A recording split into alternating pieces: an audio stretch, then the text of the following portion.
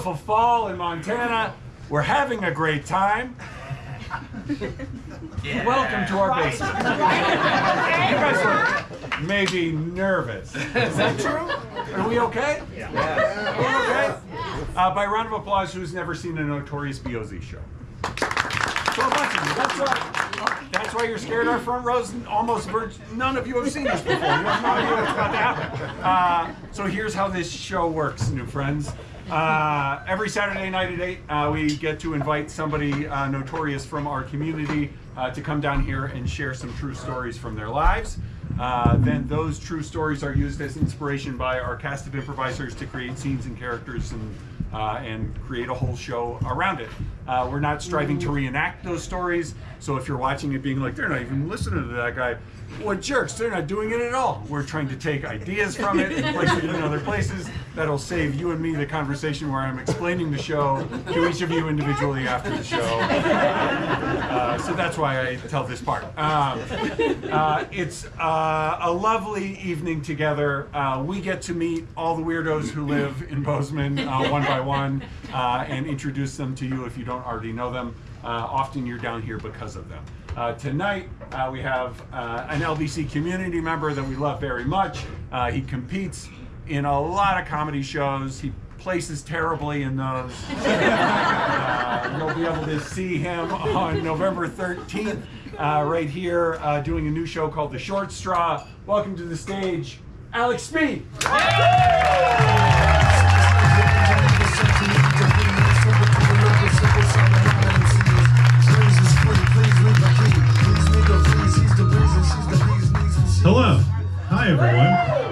Actually sure that this microphone would work.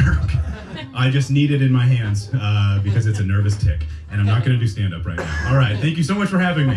Um, so sorry, I just a gear kicked on. I'm so sorry. Um, I'm here to tell you guys some stories. We love stories, so can I? I, I thought I would do this in, in, in the most old-fashioned way possible and not prepare a single thing. Um, God bless America. God bless America, and also all of you forever and ever. Amen. Because one time I saw Hank Green do this show and he didn't prepare anything, and I was like, I can probably do that. what an insane idea. Um, it's very fun. Also, sorry, this is bothering me. This is another stand-up thing. Okay. Um, thanks, Alvin. Uh, can I can I have some suggestions and then maybe I'll, I'll tell a fun story off of them. Middle school. Pelicans. Oh God! wow, middle school and Pelicans. Oh no! Here's why that sucks. Is um because as soon as you said middle school, I knew the exact story. Just like immediately, I was like, oh no, I have to tell the time that I pooped in an IKEA. I have to tell that story. There's no other explanation for it. Um, middle school's a hard time for me, okay? Obviously, because look at me and the way that I act and the way that I talk. Um, and I, I would get really nervous. Uh, doctors would later call it IBS. Um, you know, in like sixth grade in Oklahoma, we didn't have that, right? Um, we just had Mr. Poopy Pants, and that was me. That's who I was. Yes. And one time, my entire family was at my they were at my parents' house, and there's not a lot to do in Oklahoma. Um, I don't know if you guys know that. And so, one of the things that we would do is we would have people over, and then we would say, "We're all going to go to IKEA today. it's going to be a big family outing, and we're going to go look at furniture we can't afford." Right? So I have a very distinct memory of walking into an IKEA and realizing then and there I didn't prepare for this in the correct ways. I don't think it's a high stress environment, and I'm in a in a a compromised position, I guess is what you could say. But I want to be brave about it, and I know what you're thinking. The first thought is there are like a thousand bathrooms in IKEA. That was the problem, I think. I think it was confusing me seeing all of the fake bathrooms. Does that make any sense?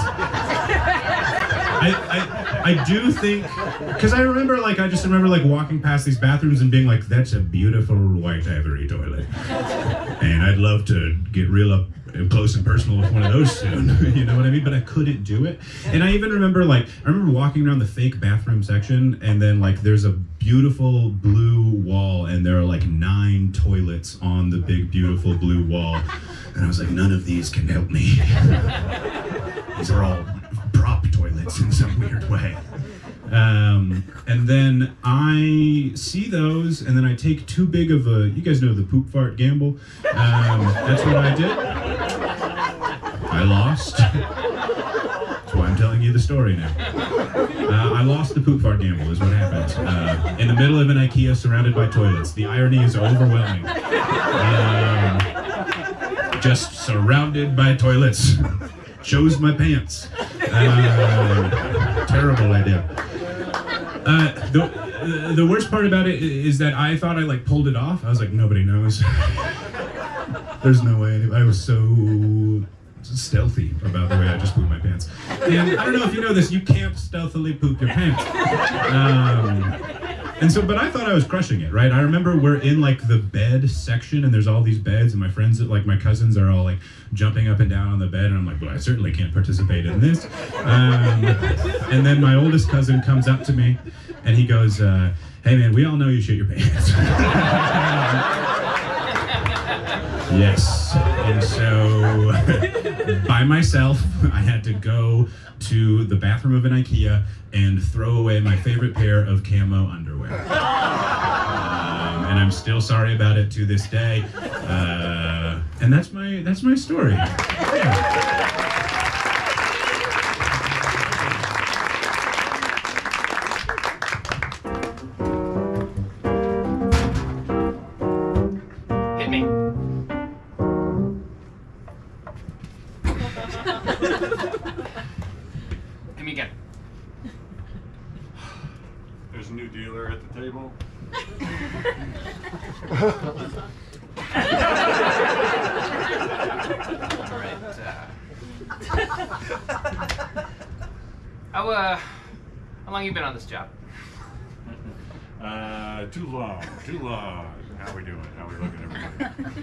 Know, uh, I'm pretty good at this.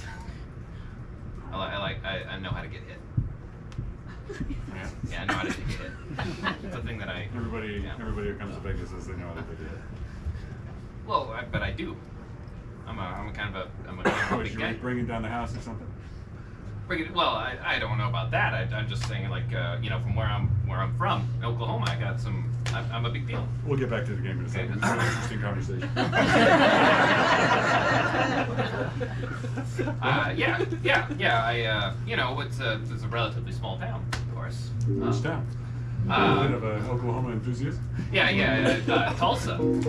Not that, not that small. By Oklahoma standards, But, but, uh, fucking but, I bang, mean, but, banging I mean, here I am in, uh, you know, in Atlantic City, so it's way different. Yeah. Over Vegas. So, yeah. yeah, Vegas. Yeah, sorry. I wouldn't, uh, I wouldn't want to correct you, but But, but you know, in Oklahoma, they're all kind of the stu- so we kind of have this. Uh, we have a kind of an Tulsa's kind of the Atlantic City of Oklahoma. to Oklahoma City being the Vegas of. I think of everything in gambling terms. It's, both my vocation and my. I have an my inferior. I, I have a bit of an inferiority complex. Where does that come from? We'll get back to it. I promise. It's just well, I, I mean, it's just I know that wasn't like directly connected to what you were saying, but I was thinking you know a lot more about where I'm from than where where you're from, and I, I sometimes I just talk a lot. I talk. It's kind of like the way that I was really excited. I just keep talking, and I and I try and say things about like how I'm big, uh, but in reality, and big? yeah, yeah, uh, but What you know, you well, not how big you are? not in that way, not big. In any way, No, What's a way you bring Well, up it's being just, big? I mean, it's just if somebody was Give to me say, an example, Yeah, please. uh, Just if- role play with me. So- I say, I say hello, and you yeah, say. yeah, I'm, I'm kind of a, I'm a big conversationalist. Oh. yeah, yeah, you know, That I'm actually of felt like a, yeah. much more natural than I expected. kind of know all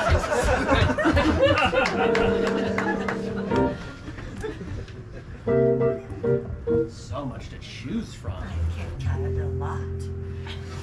And they make so many different shapes of desk lamps. Yeah. I don't know if we should touch them. Oh. I think they're just display. Well, it's not what a display is. Is it like a like a tester? You know, you go to the the lotion. You ever do that when you're in the store and they get the lotion and it says it says tester and then you do you test the lotion at the store? Yes, of Okay, course. good. Because I do. Don't make me feel weird, Jeremy. No, no, I'm not. I was sure it wasn't the only Of course. I fucking test. I mean, if I see, like, I see a tester, I see a desk lamp I can play with, I'm going right after. That's just a lot of pulling the, the cord. You gotta, how many times are you gonna pull a cord? Stop it! Stop it! Fine. I don't want to be a couple that breaks up in IKEA. How many people Are we break up here? A lot. I mean a lot. A lot. A lot. You know why? Because there's too many. It's the you ever, it's the paradox of choice. There's too many decisions to make, so you make none. Yes, I understand. You're a Other than to professor. end You your know a lot. I never went to grad One school. decision I'm a moron. I'm fine. We're picking out something for our new uh-huh. apartment that we're definitely going to live in together. and we're going to sign a lease for. Don't back up like that. Like I'm going to hurt you or eat you or something. Real back up. Because I don't know where this is. I thought we were gonna let's go to IKEA, let's shop for the apartment. That's how it sudden, felt earlier. Okay, until I touch the lamp. I don't know. And I'm keeping the cat because I paid for its adoption. I hate I'm you! so sorry. I wish you were dead! This place is cursed. This place is cursed. Let's just let's go. Nobody Fine, survives. let's just go to Ashley. Let's do. Let's go somewhere else. I don't know if we can get out of here without breaking up. Can we get out of here without breaking up? Oh my god. Or maybe this will bring us closer together. Maybe. Maybe. Maybe that's the whole Swedish plan. I don't know. I just I just grabbed your arms and, and sort of. I didn't mind it. But then you didn't touch me back. Why didn't you fucking touch me back? Because you've been berating me oh about touching Oh. desk lamps for an hour. We need to get a divorce right now. You're right. It's Oh. cursed. Finally. What's in those meats? They're only a dollar. That's what's wrong with them. We shouldn't have eaten so many. We got five each. Oh. No. Don't try to hide it. I I'm know. not. I can, no, I can tell. I didn't. I can tell. You I did. didn't. No, I, can didn't. tell. No, I did not go into one. labor. No, I did not. Wait, you're pregnant?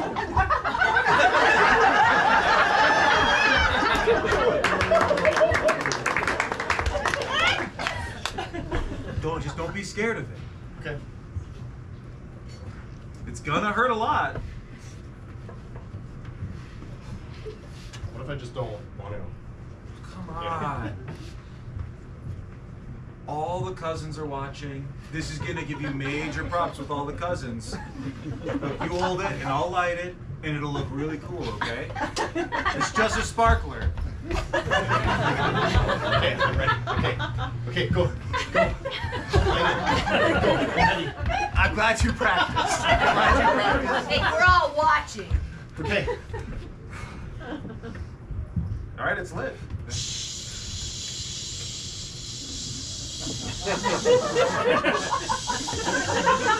Get close to your fingertips. You're gonna let it burn all the way down.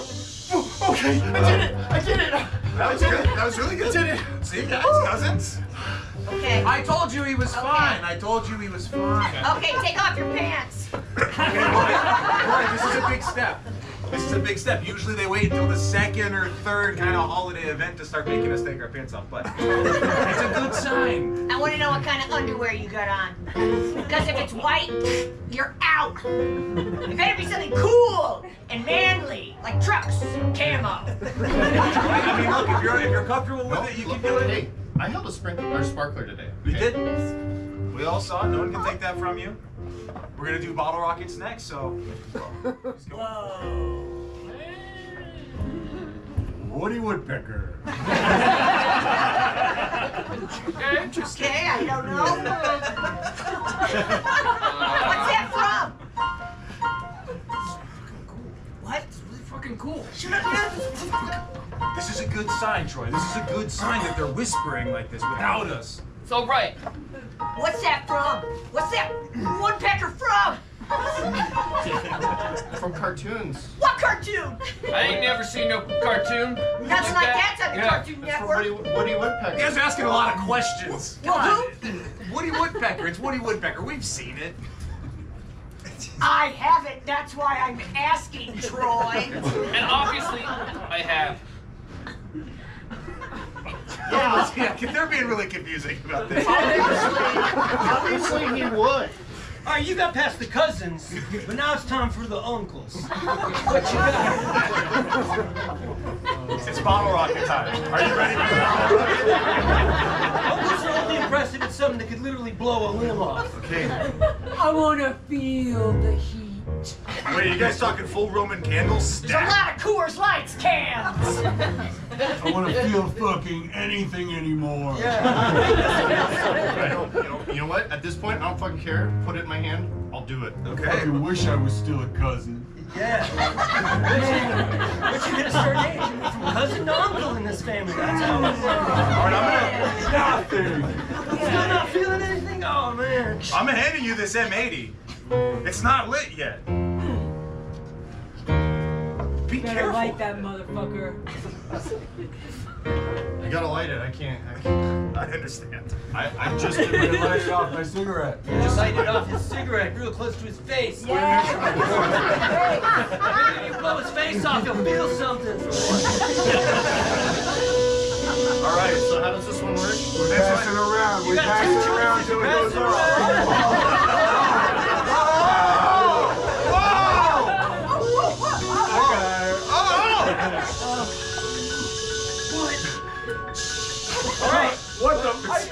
The? He's just holding on to it.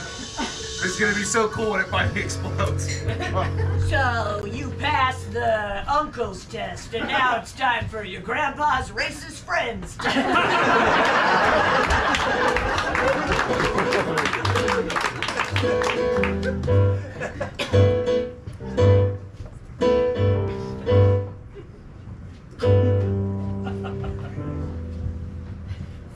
You look good, okay? Thank you.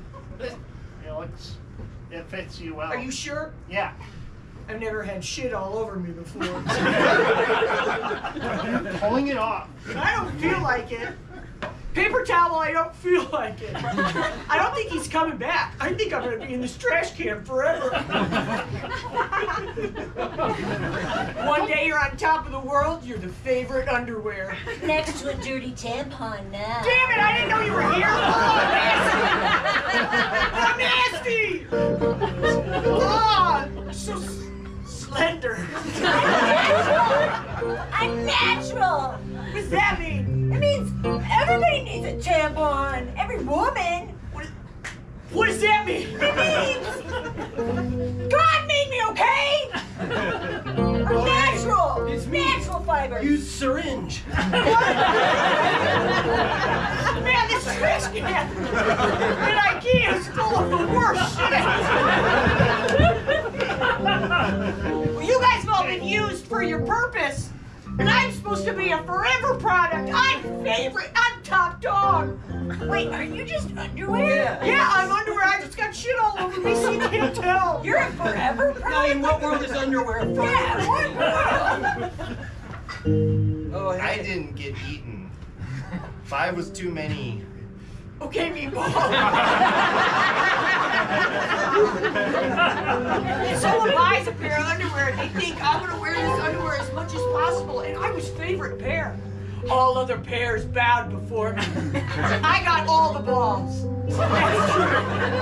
That's how what underwear thinks of like women. You get it. balls were always into me. They were always into me. This is your new life now. You live with us. So get used to Yeah, we're a family here. Yeah, we're. Oh, whoa. Oh, hey. Just a used band-aid. really not impressive. Hey, everybody's welcome. It's true, I get it. Everybody's welcome. I don't belong here though. You guys are all used. I'm not used. I wasn't used. I was. But like, we're kind of natural and like shit kind of isn't. Yeah, if you weren't supposed to be Shit. used, people would just wear pants. Yeah. Oh. What's the whole purpose of the buffer layer not to protect? Like, you confuse yourself with actual pants. Oh no! It's tough to have Is a that layer. the first time someone Yeah. said that to you? I, I think I thought I was pants. I thought I was pants.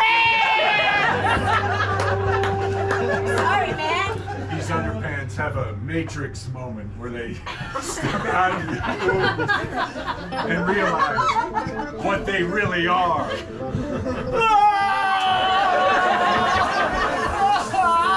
What is this? Shit!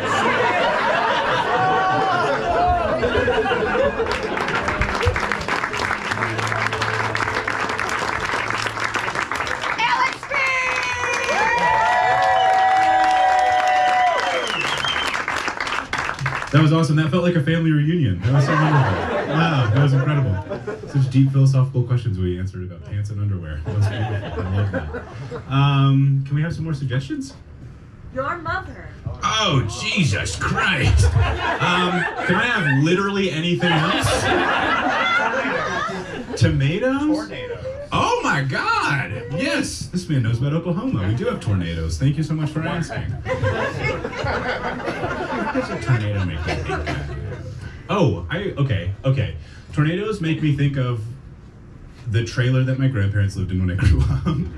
Um, which makes me think of trout fishing, which makes me think of a time that we were trout fishing and a tornado tried to destroy the trailer that we were in. And so this is the story that I'm about to tell you all. It's good to give people an outline of a story that you're about to tell, so they know what the key moments of the story are. Jesus Christ. Um, okay. Um, so when I was a little kid, my my grandparents had this like very rickety old travel trailer, and they would it was smaller than the trailer that they lived in full time, uh, which is an important detail about this story actually. Um, and we would take that little travel trailer all over all of Oklahoma and uh, on a good weekend Arkansas and places like Missouri and you know the places that you really want to go. Um, and my my grandfather is this like incredible outdoorsman. He's like this this wonderfully like big burly man. Like taught me how to fish and hunt and like work on motorcycles and like oh I, I attribute so much of like the good things in my life to my grandfather. And he would make a point where every year for the Fourth of July we would go to this place called Roaring River State Park. And if you ask me where that is, I don't know, but I was there all the time. Um, very impactful for my childhood because what we would do is they would have this huge trout like like hatchery basically where they just like and you know I know we're in Montana and we hate that shit but you know I was a kid it was pretty fun. There was just like a thousand giant trout that I could catch at all times. I was, I was cheating. I was cheating at fishing is what I was doing. Oh, that's winning at fishing yes but I'm catching them absolutely. All right I like it here. This is fun. Yeah this is good and uh, I remember one morning we woke up and we wake up at like 4:30 in the morning, and my grandfather had this like like rusted out old pickup truck, and if I was a good boy, he would let me like change the gears in the truck as we were like going fishing in the morning. And I remember we went fishing, and we it was just lights out. It was like crazy. Like we caught our limit in like 30 minutes. It was awesome, and I was so stoked. I was like, I was like, this is the best day of fishing of my life, Papa. My life is different now. I'm an angler. and uh, and then he was like, "We're about to get our shit rocked by this storm, dude." And I like, I didn't care about it at all. All I all I cared about was like the the fish that I caught, and I wanted to take them back to the trailer and do a big fish fry with my family, and like that that's what I wanted to do. So we get back to the trailer, and do you guys do you know about funnel clouds? You said tornadoes, yeah. So when, there's there's warnings for a tornado. There are a lot of them, and sometimes there are these things called funnel clouds. And a funnel cloud is a giant cloud that turns into a tornado, and it makes the sound of a train for some reason. It's incredibly ominous. It is downright terrifying.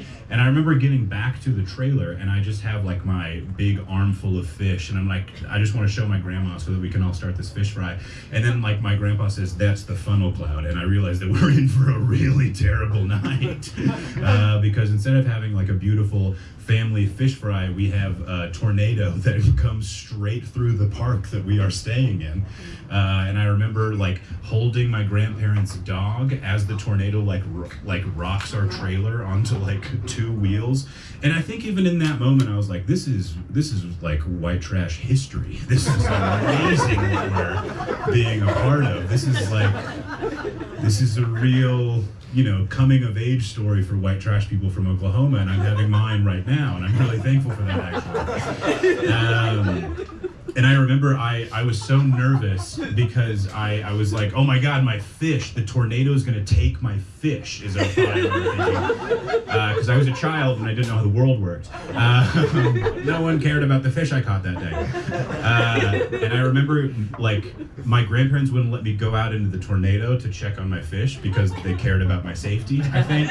Um, and I just remember being locked in this trailer, like, waiting to go out, and it's literally rocking us back and forth like this, and I'm just waiting to see if I can go out and check on the trout that I caught. Um, and that's the way I still live my life to this day. Uh, okay, and that's my story.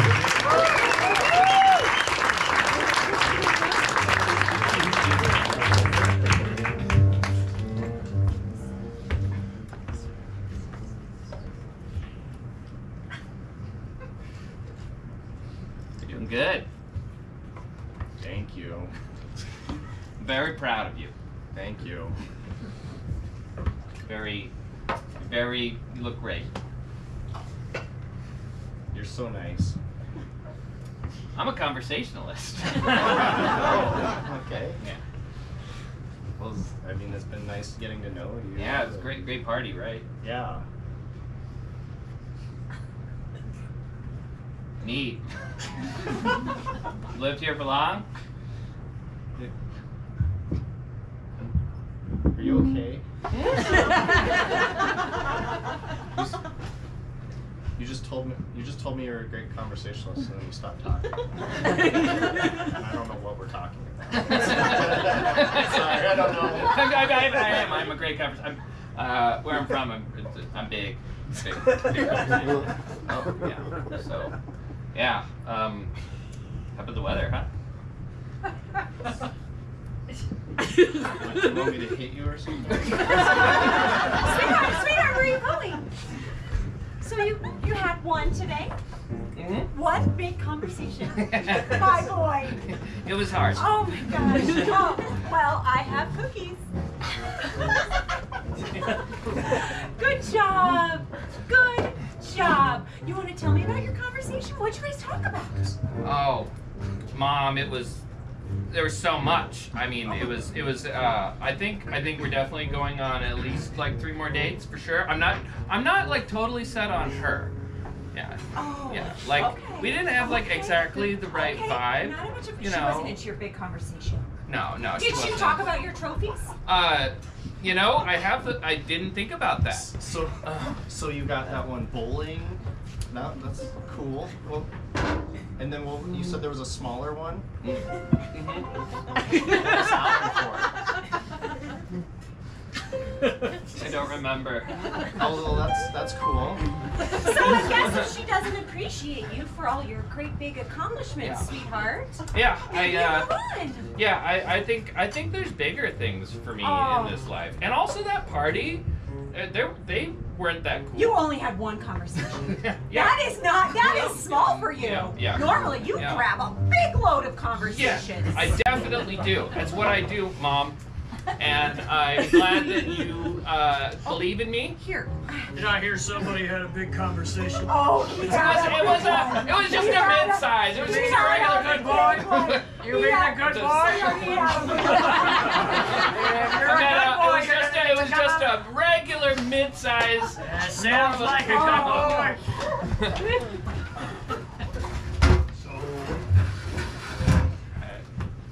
I'd like to ask a couple of questions. I noticed when you talk about a lot of your stories and your conversations, you always refer to conversations in what I think of as strongly sexual terms. Uh, you're always talking about how big it is and how much of a load you deliver. I do. I, I, I, I kind of like, I just kind of, I got, I pump the words in there, and then uh, I never know what's gonna come out. Now you're, Yeah. now you're doing it to me. Uh,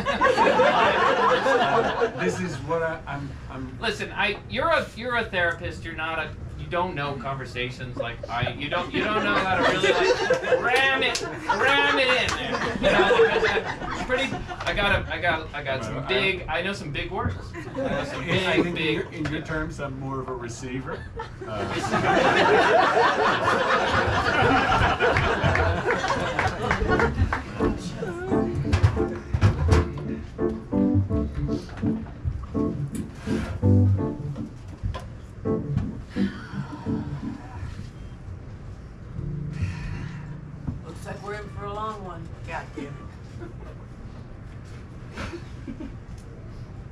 want to ride. What? What was that? Was that a choo choo? it's a funnel cloud. We're definitely not going out. I got my shirt mix. Not gonna be able to sleep with all this choo choo noise. All right, trade. Oh, man. I think I can. I think so. It's stuck in my head all night. this is kind of traumatic, actually, for me. That was the song that was playing. Uh, Mike, I can't be stuck in this trailer with you. You know what's gonna happen. no way, man. Yeah, Jim- I'm gonna fuck you. No, I hate myself. That anymore. I hate myself, but I want to.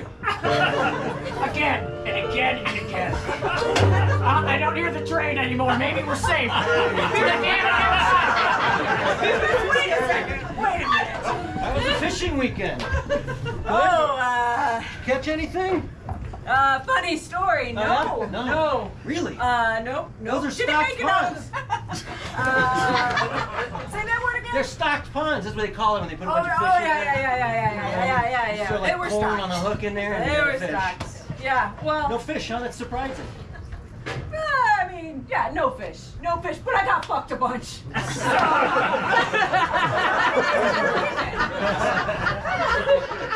Better than my weekend. I went to IKEA.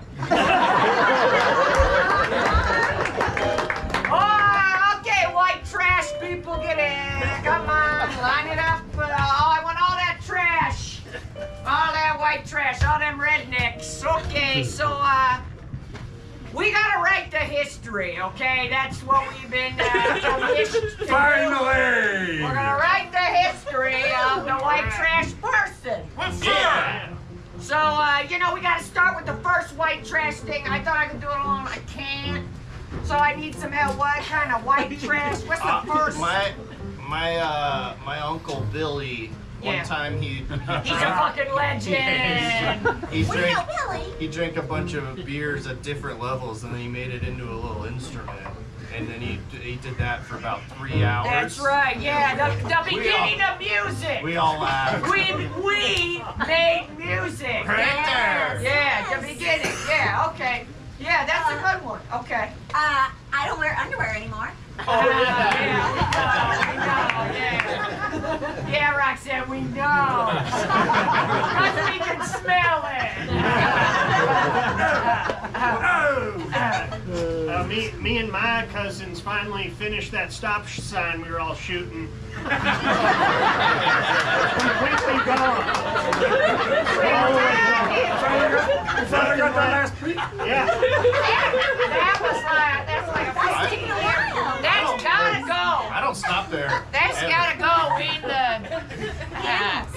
I don't know how to. In the anal? Roxanne. Um, I Are we love talking it. about anal or are we talking about science? Well, I thought we were talking about sex, but I don't know what's going on. Everything's anal. Everything but comes back to Yeah, anal. yeah. I'm gonna draw a little butt up here. Big bells for going in the immigrant boys, right?